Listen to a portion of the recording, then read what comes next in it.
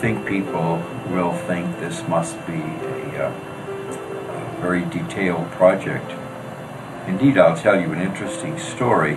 When we first began this project, some woman came up and said that she would like to chair this.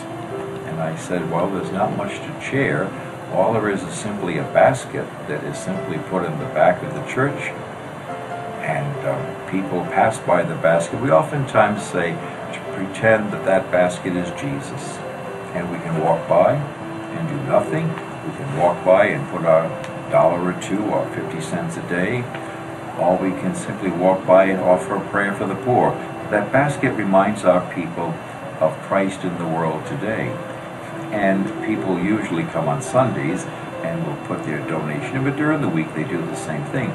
But there is very little, if any, um, bureaucracy or effort other than putting the basket out and counting the monies that come in and depositing them in the bank.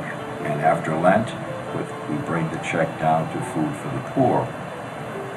Um, I think we're prone to think that everything has to have a chairman, a vice chairman.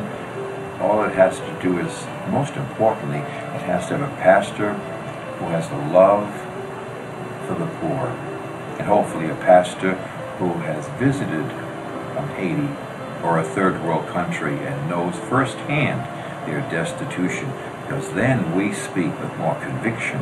If the pastor speaks with conviction, then the people will certainly be moved.